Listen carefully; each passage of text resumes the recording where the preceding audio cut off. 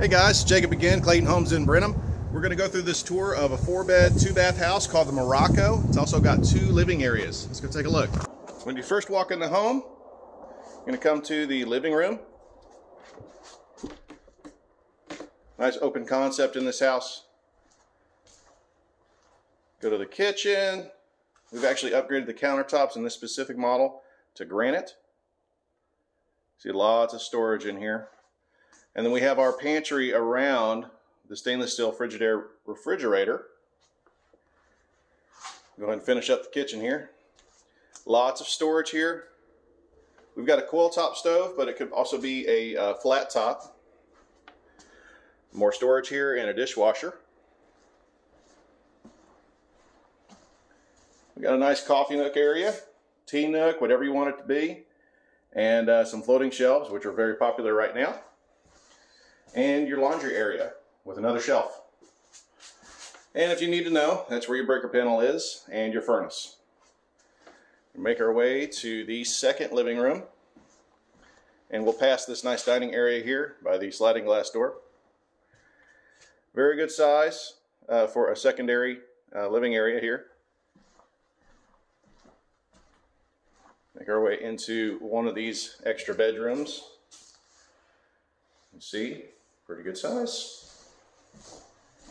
And a nice size walk-in closet as well.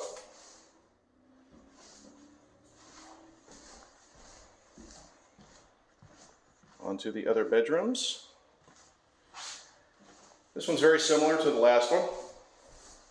Good size walk-in closet.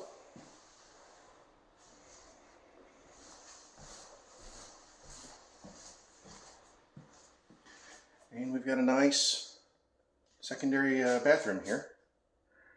I'm not sure if you're familiar with Pfister faucets. They're uh, all metal, and uh, we've got an easy access uh, click deal here, drain stopper, and it's as easy as taking it out like that. No, no messy cleanup, real easy to access.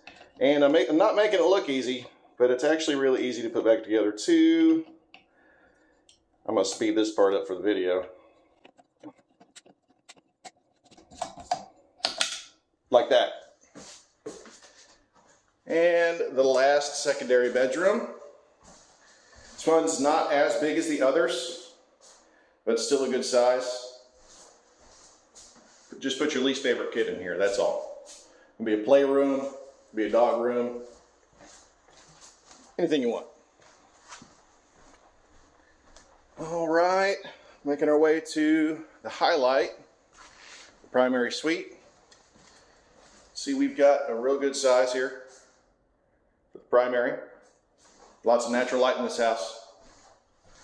And we've got a good size walk-in closet here.